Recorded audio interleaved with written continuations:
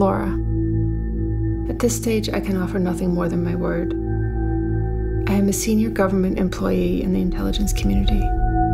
I hope you understand that contacting you is extremely high risk.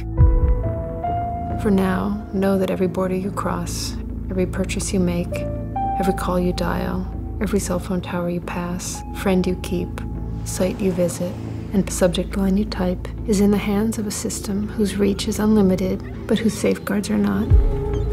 In the end, if you publish the source material, I will likely be immediately implicated.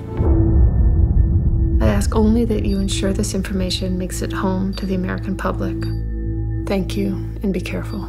Citizenfour. So I don't know anything about you. Okay. Um, I work for. Uh, So I don't know your name. oh, sorry. I. Uh, my name is Edward Snowden. Uh, I go by Ed. Um, Edward Joseph Snowden's the full name.